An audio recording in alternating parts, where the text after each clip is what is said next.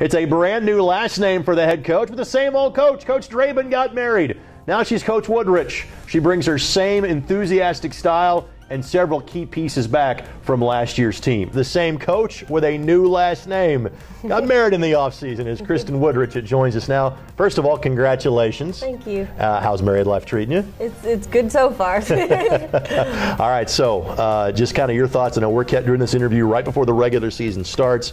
You've gotten through kind of the exhibition portion of your season. How do those exhibition games treat you?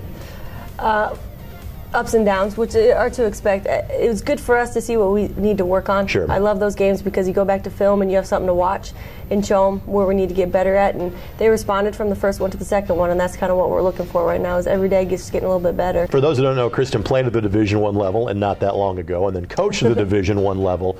What was the learning curve like for you? Kind of learning about a great league at the Division two level, but still, what were some of the things you learned about small college athletics and small college basketball last year? Well, the first thing is great basketball. Yeah, absolutely. You're coaching good kids, you're coaching good basketball, um, so that aspect is not different. I mean, you're going to practice and you're preparing the same way. Um, I mean, it's different. You're on the bus a little bit more. You're not in an airplane. Right. the travel's a little bit different.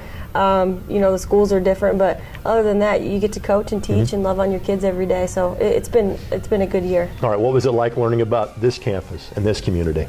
Well, I'm from. I went to high school here, of course. So I, I knew that, but I didn't realize what a hidden gem that right. UIndy was on the South Side. Uh, the people here are really supportive. Um, they're caring. I mean, coaches care about coaches. You're getting text messages after wins and losses. Um, keep your head up, you're doing the right things. So to have that support from your administration and from fellow coaches has been huge for me in my first year. Can you believe this is your senior season? I cannot believe it's my senior season, but it's here. Now, you decided to stay close to home. You played your high school ball at Lawrence North. Mm-hmm. Why was staying here and playing at UIndy the right decision for you? Um, when I first came here, I loved the school. Mm-hmm. I loved the staff here. They made me feel very welcomed, and I was just after my visit, I was just excited to come. And looking back at it, did you make the right decision? Sure did. All right, tell us about how things are going for you in the classroom. Things have been going really good. Good. What's the major for you? Social work. And what are you hoping to do with that a year or so um, from now? Um, I love kids, so yeah. I want to work with kids. All I know right now. It's such a broad like field, so yep. I'm still trying to figure it out. All right, individually, what's going to make this last year a good year for you?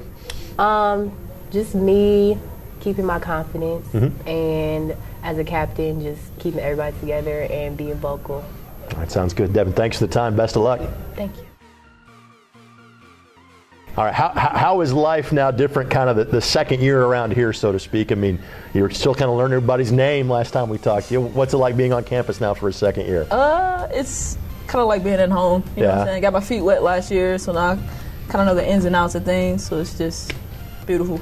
You and I were talking about because you had played for Kristen before at IUPUI that you were kind of serving as like an additional coach out there, kind of translating a little bit, so to speak. You still have that feeling now as a senior? Uh, not as bad. More so with the freshmen now. Yeah. But like it's still there, but not there. All right. So how are the freshmen coming along? Uh, pretty good. Yeah. Our freshman class pretty good. Uh, they're going to be able to contribute really well, so we're looking pretty good. This season is going to be your last at the college level. Yes, can, sir. can you believe you've gotten to that point already? Uh, I don't think it's hit me yet. Yeah.